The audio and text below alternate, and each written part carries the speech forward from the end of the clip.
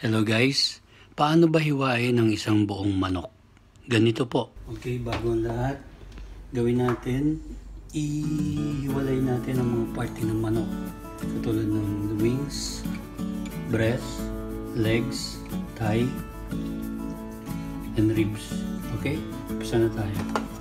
So, paano madali lang maghihiwalay ng mga parte ng manok dito mo kunin. Pag kukunin, paghiwain mo yung wings dito sa kilikili niya. Okay, hiwain mo lang yan. Yun, makikita mo yung buto, yung joint. So, hiwain mo lang ng, ng huwag kang dadaan sa buto. Mismo sa joint lang. Ayan. Oh, one wings.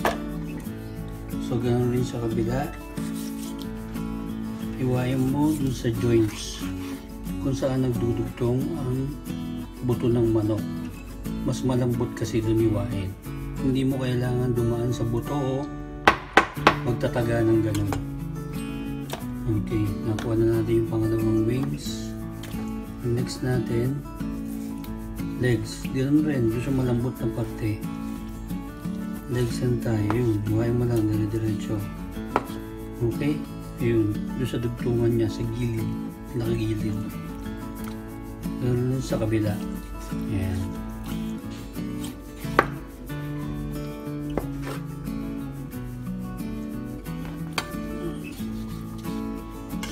So yan, ito, nung pag-iwalay ganyan magkabila, nakaganyan yan, di ba? Yan. So iwain mo dito sa gilid niya. And then yung kabila, dito sa gilid, pinakagilid, pinakasingit. And then makakuha mo na yung dalawang parte. Ito, hiwain mo na yung pinakamalambot. Pwede mong biyakin siya, baliin mo lang. Yan, baliin mo. And then tapos hiwain mo. Madali lang yan, hindi mo na kailangan pukpukin. Basta maayos lang yung kutsilyo mo, matalim. Hmm. So nakuha mo na yung dalawang leg sa katay. Okay? Yan. So ang gagawin mo naman, ihiwalay mo yung legs. So ganun rin, pumunta ka dun sa legs, yung pinaka drumstick, hiwain mo yung pinaka singit dun. Yan. Yun. And then makikita mo may buto dun, dugtungan. Yun, baliin mo. Pag binali mo yan, makikita mo yun, nabali. Simple lang. Tapos sa gitna, no, maghiwa ka. Makuha mo na yung isang drumstick. So, pangalawa ulit tayo. So, ito yung tie mo. Ito yung gilid ng legs. Ito. Yun. Baliin mo lang doon. Hiwain mo ha. Hiwain mo din doon. Hmm, hiwa, balik. Hmm. Hmm. Yun yung dugtungan. So, hiwain mo lang doon. Sa gitna ng dugtungan ng legs. Hmm. Kuha mo na yung isang legs. And then, tie. So, yung tie na mahiwain mo sa ibabaw na pinakagitna nila. Okay? Ito may buto to, buto. Pero ang gagawin mo dyan, diinan mo yung dulo ng kutsilyo mo, diin mo, tusok mo, sabay iwa. Kuha mo na yung dalawang tay. Hmm. Sa gitna lang niya, yan. Iwain mo lang yan.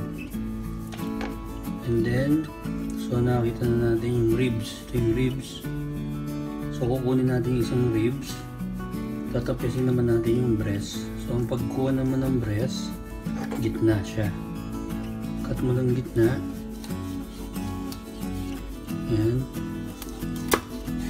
May malambot na part na yan. So, dire-diretso na lang yan. Hmm. So, yan yung breast. So, kailangan mo makuha yung ribs. So, naiwa mo na ibabaw ng breast. Yan. So, yung ribs na kukunin mo. So, ang gagawin mo dyan, dito sa pinakagilid, yung dulo ng kutsilyo mo, laruin mo lang yung gilid niyan. And then press. Yan. So, common yung isang breast. Kabila rin, ganun rin. Pag ganun, paikot dito.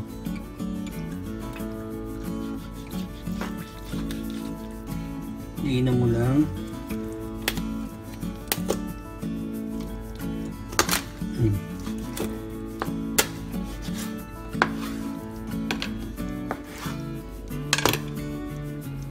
So, yun na.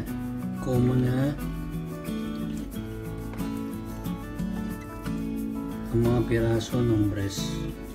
Dalawa. Dalawang dalawang leg. Dalawang thigh.